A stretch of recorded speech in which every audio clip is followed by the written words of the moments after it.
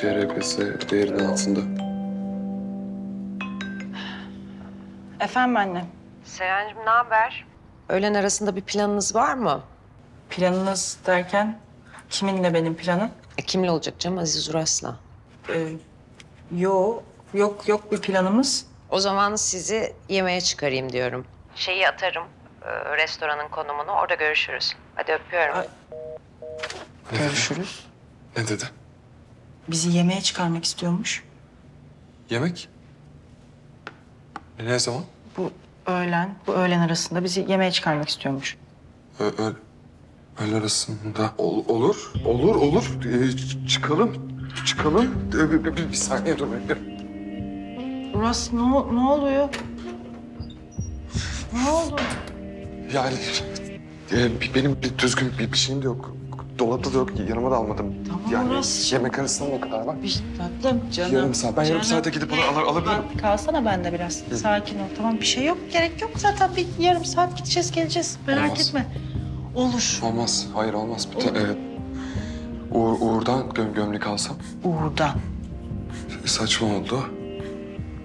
Ee, Reha Hoca.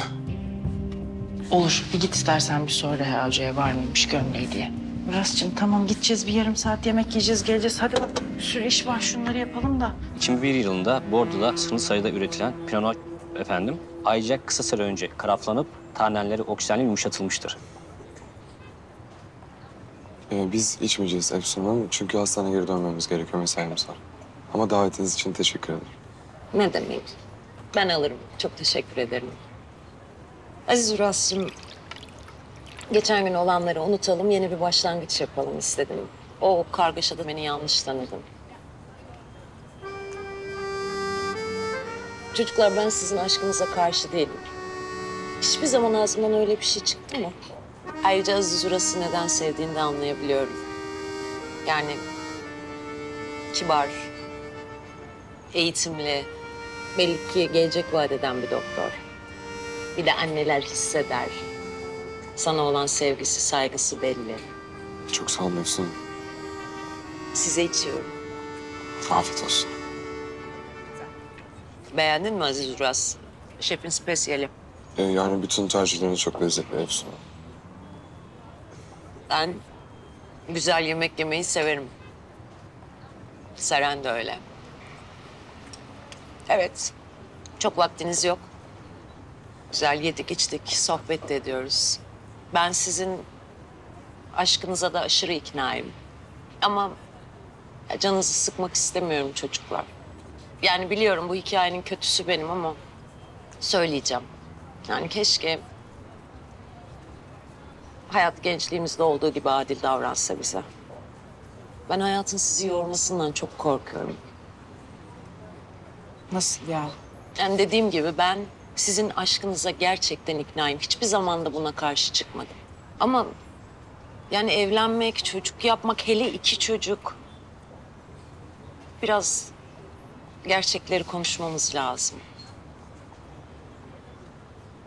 Aziz Uras annen açığa alınmış. Geçmiş olsun, üzüldüm. Ee, evet. Ama annem mesleğine dönmesinin bir yolu var. Umarım öyle olur ama ya olmazsa? Ne olur beni yanlış anlama. Gerçekten sizin iyiliğiniz için konuşuyorum. Yani eviniz icra ile elinizden alındı. Annen işinden atıldı. Eğer çocuk sahibi olacaksanız çocuklarınızın geleceğini düşünmeniz lazım. Hangi evde yaşayacaksınız mesela? Hı? Düşündünüz mü bunu? Gülçiçek Hanım'ın evinde mi? Yani sizin kiralardan haberiniz var mı? İkinizin maaşıyla sadece eli yüzü düzgün bir muhitte ev tutabilirsiniz. Efsun E sen de artık maddi olarak annene destek olacağına göre. evet. Ee, ama Efsun Hanım ben Seren'e de bebeklerimize de bakacak parayı kazanırım. Kazanırsın ondan hiç şüphem yok. Ama beş sene, on sene sonra. Ya bakıyorum ikinize de pırlanta gibisiniz. Niye yapıyorsunuz bunu kendinize? Hı? Böyle yaparak hem kendinizin hem de çocuklarınızın geleceğini mahvedeceksiniz. Şöyle bir seçenek de var. Ben evinizi tutarım. Kiranızı öderim. Dayar döşerim. Çocuklarınızın masraflarını da karşılarım. Ama bu gururunuza dokunur biliyorum.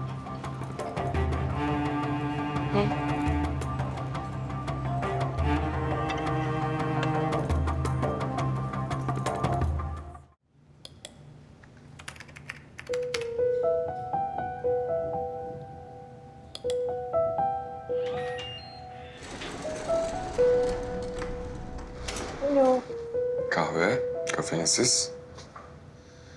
Bu da kurabiye ama şekersiz. Lakin hurmalı. Teşekkür ederim. Ha bir de e, nöbette çok fazla kendini yormak yok. Tamam. Tamam. Afiyet olsun. Sana ne oldu yine yüzünde güller açıyor.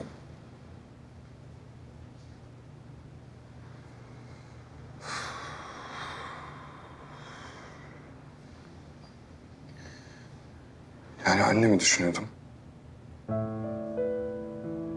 Bizim için kredi çekmiş bir de. Yani ben de denedim. Ama kartlarım patlak olduğu için vermediler. Benim de durumum aynı. Ama şey yaparız. eee, elden alırız. Uğur'la Doruk'tan. Olmaz mı? Alırız. Yani kredi için alırız. Ama benim annemi eve yerleştirmem lazım Seren.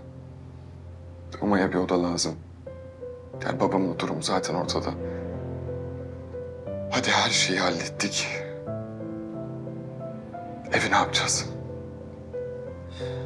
İyice annem gibi konuşmaya başladım Murat ya. Ya tamam hani annen evet şefkatli biri değil. Ama Ama doğruyu söylüyor. yani gerçekçi biraz.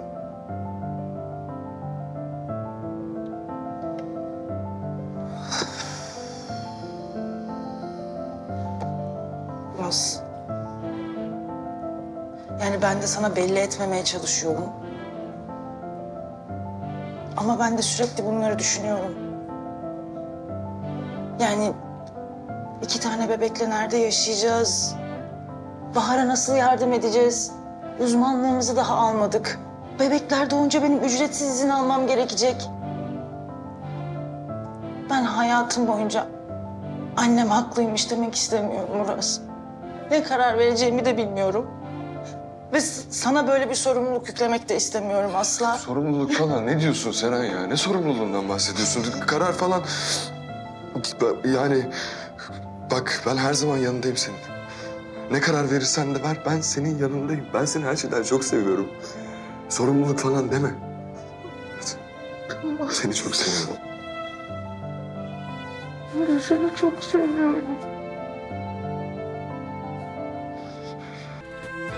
Daha fazla video izlemek için kanalımıza abone olabilir, ilk izleyen olmak için bildirimleri açabilirsiniz.